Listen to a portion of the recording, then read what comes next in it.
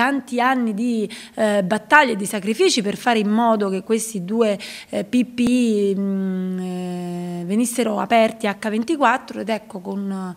uh, un colpo di mano ci siamo ritrovati dapprima chiusi totalmente e adesso sempre con la speranza perché non sappiamo ancora se in realtà dal 16 giugno saranno riaperti. Riaprire subito i PP di Pescina e Tagliacozzo è la richiesta pressante che arriva dalla consigliera regionale Marianna Scoccia, da pochi giorni passata all'opposizione dopo aver fatto parte della maggioranza di centrodestra guidata dal presidente Marsilio in quota UDC. Scoccia, in qualità anche di sindaco di Prezza, chiede una mobilitazione bipartisan ai suoi colleghi sindaci per spingere la regione ad affrontare e soprattutto risolvere la problematica che basta con le chiacchiere, siamo stufi di stare a ascoltare il direttore generale che verrà a dirci che non ha i soldi per gli infermieri, per i medici, quando poi all'ospedale di Pescara vengono assunti 75 infermieri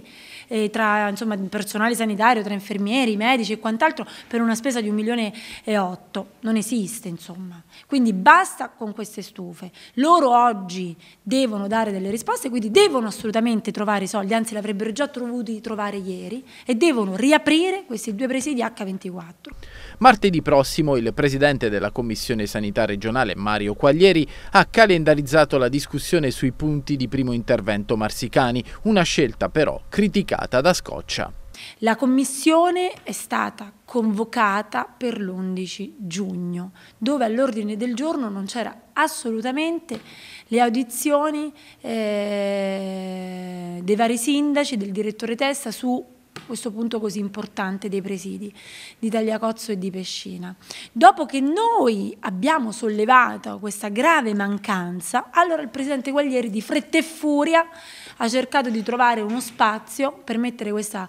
convocazione e pensate un po' la cosa ancora più grave che convocare una commissione di un argomento così importante, metterla un'ora prima del Consiglio regionale fa capire